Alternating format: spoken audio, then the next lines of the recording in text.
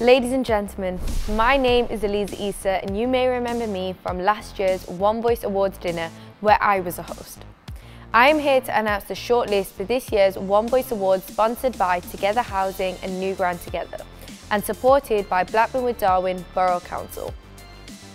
This is the 11th annual One Voice Awards and the winners will be announced at the awards dinner later next month. Thank you for your nominations which we have received last autumn.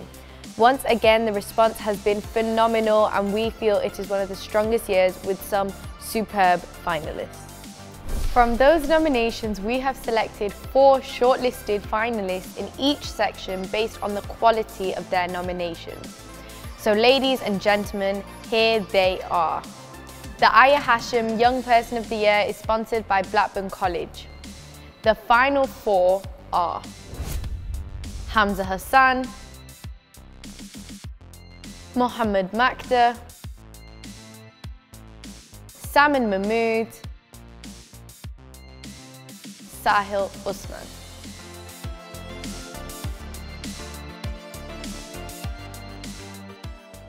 The One Voice Group of the Year 2024 is sponsored by Blackburn and Darwen Youth Zone.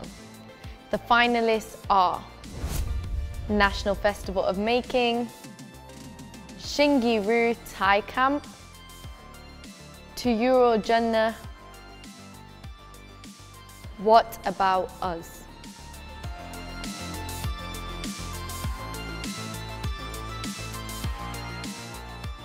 The One Voice Health Award is sponsored by Spring North. The finalists for this award are Four Seasons Outdoors, Offload Northwest, Red Rose Recovery, Sarah Bernasconi, Maggie's Stillbirth Legacy.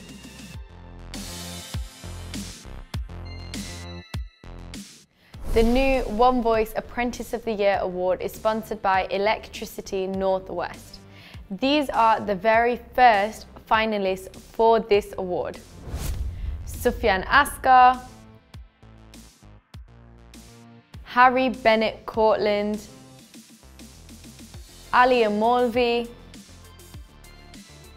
Royza McCusker.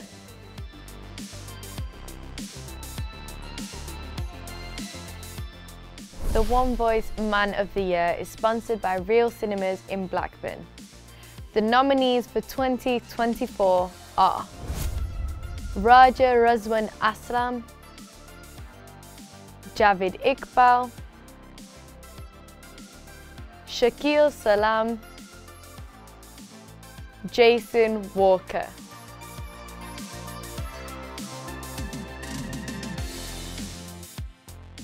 The One Voice Woman of the Year 2024 is sponsored by the Catering Co Group. This year's finalists are Shanaz Hussain, Agnieszka Quitchen, Vicky McGurk, Salma Saleh.